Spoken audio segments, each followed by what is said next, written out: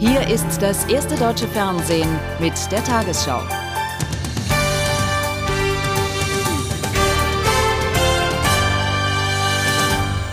Guten Abend, meine Damen und Herren. Bundesbankpräsident Weltecke steht wegen der umstrittenen Übernahme von Hotelkosten durch die Dresdner Bank weiter unter Druck.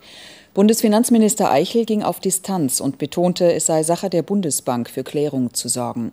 Die Union sieht dienstliche und private Belange vermischt und fordert Konsequenzen. Die SPD kritisierte Weltecke, hält den Vorgang aber für einen Einzelfall. Weltecke und die Bundesbank haben die Hotelkosten heute zurückgezahlt. Berlin feiert Silvester 2001 und keine 200 Meter entfernt stößt im Hotel Adlon Bundesbankpräsident Weltecke mit Finanzminister Eichel auf die Einführung des Euro an. Für Weltecke und seine Familie übernahm die Dresdner Bank die Hotelkosten in Höhe von 7.661 Euro.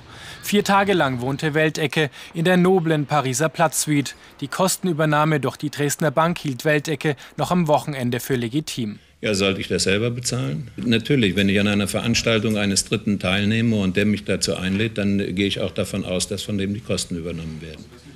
Nach öffentlicher Kritik teilte Weltecke heute schriftlich mit, dass er zwei Übernachtungen selbst zahle, den Rest trage die Bundesbank, weil es sich anfangs um einen dienstlichen Anlass gehandelt habe. Die Kritik an Weltecke verstummte jedoch nicht. Im Rahmen der Bundesregierung mit ihren Verhaltensregeln wäre ein, solches Vorgehen nicht, ein solcher Vorgang nicht möglich. Für meine Begriffe hat er seine Autorität als äh, Präsident der Deutschen Bundesbank national und international verspielt. Er muss gehen dass also der Bundesbanker eine Einladung einer Bank annimmt in diesem Umfang und sich gar nichts dabei denkt, das ist problematisch. Der Vorstand der Bundesbank hält das Verhalten Weltdeckes für keine schwere Verfehlung, die eine Amtsenthebung rechtfertigen würde. Deshalb, so ein Sprecher, sei die Prüfung des Sachverhalts 2001 rechtlich abgeschlossen worden. Niemand aus der Bundesregierung stellte sich heute schützend vor Weltecke. Mit großen Kopfschütteln heißt es aus Regierungskreisen, habe man sein Verhalten zur Kenntnis genommen. Unabhängig von allen Rechtsfragen sei es moralisch nicht nachzuvollziehen. Angesichts der schweren Unruhen im Irak haben die USA ein hartes Vorgehen gegen den radikalen Schiitenführer Assad angekündigt. Nach Angaben der US-Zivilverwaltung liegt gegen ihn schon länger ein Haftbefehl vor. Sein Land werde sich nicht von Gangstern und Terroristen vom Kurs im Irak abbringen lassen, sagte US-Präsident Bush. Die USA hielten daran fest, die Macht Ende Juni an eine irakische Regierung zu übergeben. In Bagdad und Basra gingen die Auseinandersetzungen zwischen Anhängern von Assad und den Besatzungstruppen weiter. Seit gestern wurden mindestens 50 Iraker und zwölf Soldaten getötet. In der südirakischen Küstenstadt Basra hatten Anhänger des Schiitenführers Moqtada al-Sadr im Morgengrauen den Sitz des Provinzgouverneurs gestürmt. Bei Schusswechseln mit britischen Truppen sollen drei Iraker getötet worden sein. Aufräumarbeiten und Trauer in Bagdads schiitischen Vorort Sadr City.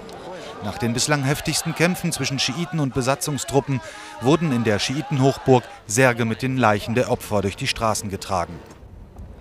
Am Mittag dann der Beschuss eines Assadre-Hauptquartiers in einem nördlichen Viertel Bagdads durch US-Kampfhubschrauber. Die US-Zivilverwaltung hat den radikalen Geistlichen als Drahtzieher der Unruhen ausgemacht. Wir werden das nicht tolerieren, sagte US-Zivilverwalter Paul Bremer in einem Pressegespräch und bezeichnete Assadre als Gesetzlosen. Später wurde bekannt, dass Haftbefehl gegen diesen erlassen worden sei, wegen der Tötung eines anderen schiitischen Geistlichen vor einem Jahr. Der 32-jährige radikale Assadre verficht eine kompromisslose Linie gegenüber den Besatzungsmächten. Er kennt die Übergangsverfassung nicht an und hat sich eine Privatmiliz aus radikalen Jugendlichen geschaffen, die sogenannte Al-Mahdi-Armee. Auf die Nachricht von dem Haftbefehl gegen ihn sagte er, darauf bin ich stolz, wir werden uns weiterhin widersetzen. Mit dem Haftbefehl gegen den Schiitenprediger Moqtada Assadre haben die USA die Strategie der harten Hand gewählt. Schon bei den sunnitischen Aufständischen in Fallujah, Ramadi und Tikrit hat diese bislang nicht die gewünschten Resultate erzielt. Eine Verhaftung Assadres nun würde mit Sicherheit eine weitere Radikalisierung der Schiiten bedeuten. Und das wäre extrem gefährlich. Angesichts der Unruhen im Irak erwägen die USA offenbar, weitere Truppen in das besetzte Land zu entsenden. Der Befehlshaber für die Region, General Abisaid, habe eine entsprechende Anfrage an das Verteidigungsministerium in Washington gerichtet, meldet der US-Sender CNN. Der General sei besorgt über die jüngste Entwicklung. Verteidigungsminister Rumsfeld hatte bislang betont, an der gegenwärtigen Truppenstärke festzuhalten. Nach den Anschlägen auf Pendlerzüge in Madrid melden die Ermittler einen neuen Fahndungserfolg. Bereits am Wochenende seien nahe Madrid und in der spanischen Exklave Ceuta weitere zwei Verdächtige festgenommen worden, teilten die Sicherheitsbehörden heute mit. Der mutmaßliche Drahtzieher der Anschläge hatte sich am Samstag bei einer Polizeirazzia zusammen mit Komplizen in die Luft gesprengt. In einem Schreiben an eine spanische Zeitung drohte der Verfasser im Namen des Terrornetzwerks Al-Qaida mit neuen Anschlägen. Spezialeinheiten der französischen Polizei haben bei Razzien in Paris 13 mutmaßliche Terroristen festgenommen. Unter ihnen den Chef einer marokkanisch-islamistischen Kampfgruppe, die dem Terrornetzwerk Al-Qaida nahesteht. Zwei der Festgenommenen wurden mit internationalem Haftbefehl gesucht. Nach Angaben des Geheimdienstes sollen mindestens sechs Verdächtige mittel- und unmittelbar an den Anschlägen von Casablanca beteiligt gewesen sein. Dort waren im Mai vergangenen Jahres 45 Menschen getötet worden. Israels Ministerpräsident Sharon hat seine Drohungen gegen Palästinenserpräsident Arafat erneuert. Er fühle sich nicht mehr an seine Zusage an die USA gebunden, keine Gewalt gegen Arafat anzuwenden, sagte Sharon in einem Zeitungsinterview. Wer Juden töte oder dazu aufrufe, stehe auf der schwarzen Liste. Zugleich kündigte Sharon an, bei einem Abzug aus dem Gazastreifen alle jüdischen Siedlungen aufzugeben und das Gebiet vorübergehend vollständig abzuriegeln. Bundesverteidigungsminister Struck hat erstmals seit den schweren Unruhen Mitte März im Kosovo Bundeswehreinheiten in der südserbischen Provinz besucht. Struck sagte in Pristina, die offene Gewalt zwischen Kosovo-Albanern und Serben hätte die Bundesregierung schwer enttäuscht und die Bemühungen um eine Lösung des Kosovo-Problems zurückgeworfen. Deutschland spielt jetzt schon eine große Rolle im Kosovo. Wir stellen das größte Kontingent äh, an Soldaten äh, mit knapp äh, 4000. Äh, wir werden uns im Rahmen der Europäischen Union zunächst auch in Bosnien-Herzegowina dann engagieren. Ab Anfang des nächsten Jahres wird es ein Mandat der EU für Bosnien geben. Unsere Rolle hier bleibt unverändert stark. Die Bundesregierung hat nach dem ersten Quartal weitgehend zufrieden Zwischenbilanz zur Gesundheitsreform gezogen. Die Patientenbeauftragte Kühn Mengel räumte aber ein, dass die Reform viele Menschen mit geringem Einkommen hart treffe. Anfangs habe es eine Flut von Anfragen und Beschwerden gegeben. Oft seien dabei Kassen und Ärzte ihrer Beratungspflicht nicht nachgekommen. Kritik an der Gesundheitsreform kam erneut von Ärzten und der Pharmaindustrie sowie von Sozialverbänden. Die Koalitionsparteien bekennen sich auch nach den Massendemonstrationen vom Wochenende weiter zu ihrem Reformkurs. Umgesteuert werde nicht, hieß es heute übereinstimmend von führenden Sozialdemokraten und Grünen. Man sei aber zum Dialog bereit. Allerdings, so erklärte SPD-Generalsekretär Benneter, müssten die Gewerkschaften als Initiatoren der Proteste jetzt auch sagen, wie ihre Forderung nach mehr sozialer Gerechtigkeit umgesetzt werden könnte. Am Wochenende wurde hier demonstriert, heute wird diskutiert und analysiert. Die Großdemonstrationen haben Spuren hinterlassen, sie sorgen für politischen Gesprächsstoff. Nun demonstrieren die Regierungsparteien, und zwar Geschlossenheit. Man werde an dem bisherigen Kurs festhalten. Man hat noch mal eine Zusammenfassung vieles, vielen Unmuts gemerkt, der schon die ganze Zeit auch da war. Aber wenn man Reformen in Gang setzen möchte, dann kann man einfach nicht nur nach ja, den Leuten nach dem Mund reden, sondern da muss man tun, was notwendig ist. Bei den Grünen heißt es, man teile Forderungen vom Wochenende gegen Lohndumping und für mehr Gerechtigkeit. Über ein Mindestlohngesetz solle verstärkt diskutiert werden. Die grundsätzliche Linie aber bleibt. Die Bereitschaft, diese Dinge umzubauen, die werden wir weiter aufbringen und die muss man auch von den Gewerkschaften einfordern. Ich glaube, wer da die Augen verschließt, wacht am anderen Tag auf mit einer Sozialstaatsruine, die sich nicht mehr ähm, verteidigen und die sich auch nicht mehr umbauen ließe. Rot-Grün wirft den Gewerkschaften vor, es fehlten konstruktive Vorschläge. Nur gegen etwas sein reiche nicht. Das will der DGB so nicht auf sich sitzen lassen. Also Protestaktionen mit mehr als einer halben Million Menschen sind keine Fachkonferenzen und keine Expertentagungen. Hier ist ein Signal gesetzt worden und das sollte die Politik sehr beachten. Die Positionen zwischen Politik und Gewerkschaften liegen noch weit auseinander und so werden weitere Demonstrationen folgen, spätestens am 1. Mai. In die kommenden Tarifverhandlungen im Bankgewerbe will die Gewerkschaft Verdi mit einer Gesamtforderung von 4 Prozent mehr Einkommen gehen. Dabei will sie auch Regelungen zur Arbeitsplatzsicherung erreichen.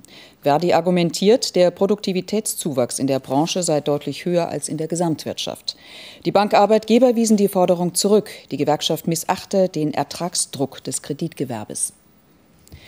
Im Rechtsstreit zwischen der EU und dem US-Tabakkonzern Philip Morris um den Zigarettenschmuggel bahnt sich eine Wende an. Insgesamt eine Milliarde Dollar hat das Unternehmen Brüssel für eine außergerichtliche Einigung angeboten. Die EU hatte Philip Morris vorgeworfen, der Konzern leiste durch überdimensionierte Zigarettenlieferungen in die osteuropäischen Länder dem Schmuggel in den Bereich der EU zumindest Vorschub. Razzia, Zigarettenschmuggel, das derzeit brisanteste Problem europäischer Zollfahnder. In Brüssel steht jetzt eine bislang geheim gehaltene Vereinbarung kurz vor dem Abschluss. Ein Deal zwischen dem Zigarettenkonzern Philip Morris und der Kommission. Der US-Tabakkrise will eine Milliarde US-Dollar nach Brüssel überweisen für den Kampf gegen Zigarettenschmuggel. Wenn wir zusammenarbeiten, können wir sehr viel effektiver gegen den Schmuggel vorgehen als jeder einzeln than acting separately. Und der Konzern profitiert auch, denn im Gegenzug verzichtet Brüssel auf Klage gegen Philip Morris wegen Beteiligung am Zigarettenschmuggel. Der Hintergrund.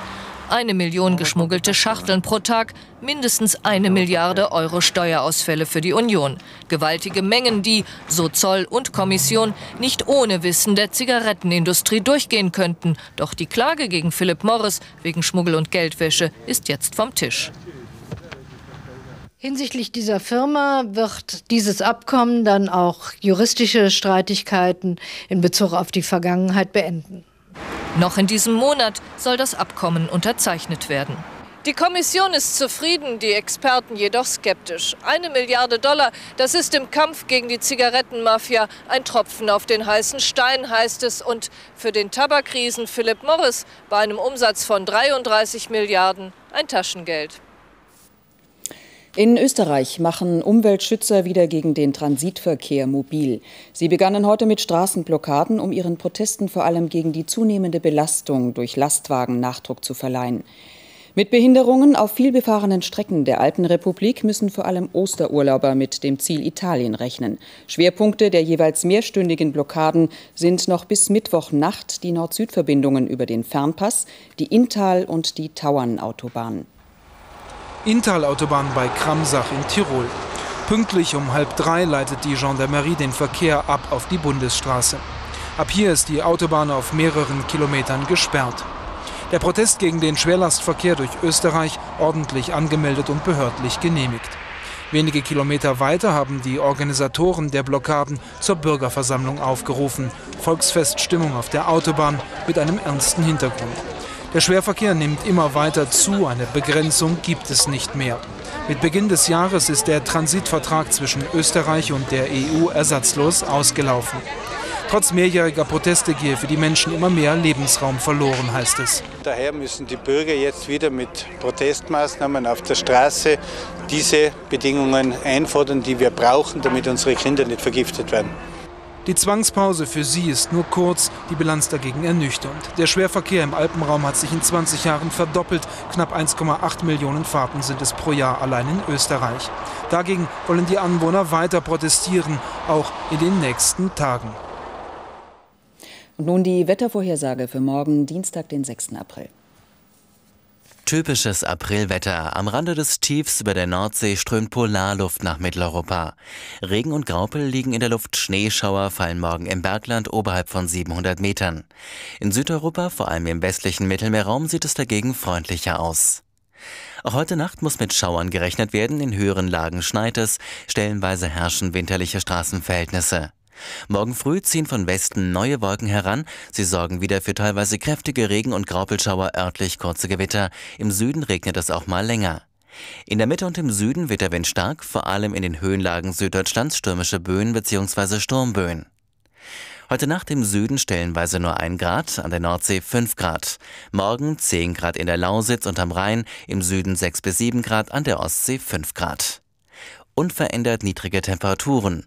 Auch am Mittwoch nasskaltes Aprilwetter. In der Nacht auf Donnerstag gibt es stellenweise leichten Frost. Am Gründonnerstag ist es häufig stark bewölkt, Wiederschauer und Gewitter.